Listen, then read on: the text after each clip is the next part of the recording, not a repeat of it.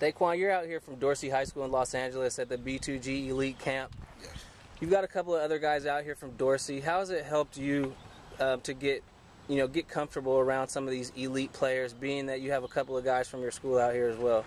Uh, I practice with these guys, you know, about every Saturday at the instinct training. So the comp- competition level I'm kind of used to, and having some of my teammates out here just make me more comfortable around, you know, around my teammates and who I'm competing with. How long have you been participating in the B2G camps and workouts, and how have they helped you improve your game to get better prepared for the next level? I've been competing with B2G since the ninth grade, and the competition level here is like no other in the country. You compete with the best from all over, all over states, countries. It doesn't matter, and the, your competition level is high. So you either gonna step up or get embarrassed. So that's how I've gotten better over the years since the ninth grade. You guys had some great competition going on over there in the one-on-one drills with the wide receivers. Who are some of the guys on the offensive side of the ball that impressed you and helped you elevate your game? Um, David Williams, he's a, a receiver over there. Uh, Mario Stringfellow. Um, and I don't know this one receiver's name. He's from Chicago, though. He looked very impressive today. Now, being able to be out here and compete with some of those guys from you know out of state and these other regions, what kind of advantage do you think that gives you in getting prepared for the upcoming season? The advantage it gives me is the like in my my city and the teams we play there, they're not all elite players like out here. So all the things I learned in out here in the competition I play against, I just got to take that back to my team and you know add it into my coaches, my coaching scheme, and you know go uh, use all that and apply it against the teams we play against. Now, you guys do a lot of stuff out here that's definitely unique with regards to some of the drills Yeah. and different routines that you go through. You know, what are some of those drills and how have they helped you, per, you know, better your game? Uh, some drills we do like back pay, back pedal break angles, you know, breaking at angles, you know, breaking to the top shoulder, stuff like that. The detailed things we do out here is all the things that actual comes to play in the actual game. So it helps a lot.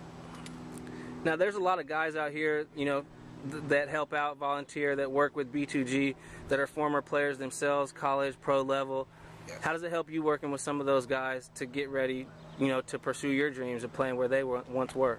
Yeah, the advice they give me and the techniques and all the information, you know, is firsthand knowledge because they've been there and done that. So anything I can grasp from these, you know, guys, is always helpful. Going into your senior season, you know, you're obviously re- receiving attention um, on the recruiting trail. Who are some of those schools that have, that have shown interest, and do you have any official offers currently?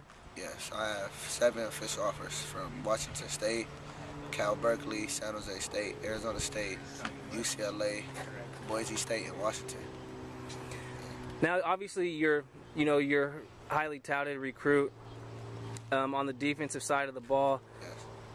What are some of the other schools that maybe haven't offered yet that you're looking to get offers from and that you would consider playing for at the next level? Um, maybe Oregon. Oregon is soon to offer, and I'm very interested in that Okay. as well. Now, if you had to pull out a top three, top five list of schools right now, who would that be? Right now, I don't have a top three. You know, I'm treating everyone the same. You know, looking into every school the same. So I don't have a top right now. Do you have any schools lined up that you may want to, you know, take official visits to, or you may want to just go out and check out to get a little bit more of an in-depth feel? Um, yes, Arizona State. Uh, we'll take an official visit to them in some sometime December with my teammate safety Jamie Otmelo. And Washington, I will take official up there. Maybe Oregon. Okay. What are you working on most during this off season to get ready to to help your team reach that next level in the CIF? I've just been, you know, working on my technique. Anything I can do to help my team get better as a cornerback, you know, lock that side of the field down.